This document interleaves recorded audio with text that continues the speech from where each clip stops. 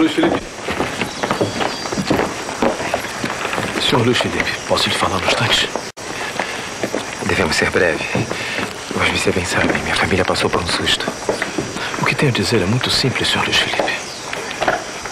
Sim, eu ouço. O colar de esmeraldas que a senhora Elvira usava não foi seu irmão Santiago que ele deu, como vós me de saber. Não entendi, senhor. Creio que entendeu, sim, senhor. Esse colar eu o ganhei no jogo de um estranho personagem, um doutor. Um doutor Pedras, para ser mais preciso. Ao perder esse colar, ele fez um comentário estranho.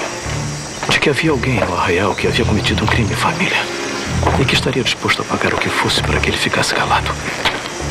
Pois o crime parecia acidente. E o que mais ele disse? Nunca mais falei com ele. Pois apareceu morto na mesma noite do jogo. Mas eu pensei muito sobre o que ele me disse.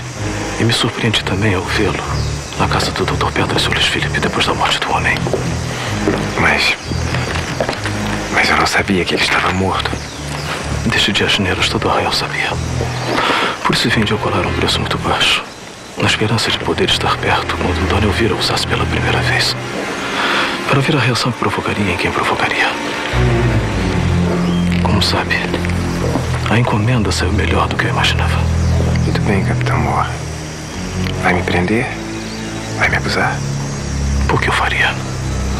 Devido a um problema de minha mulher, eu preciso de muito, muito mais do que posso ter atualmente.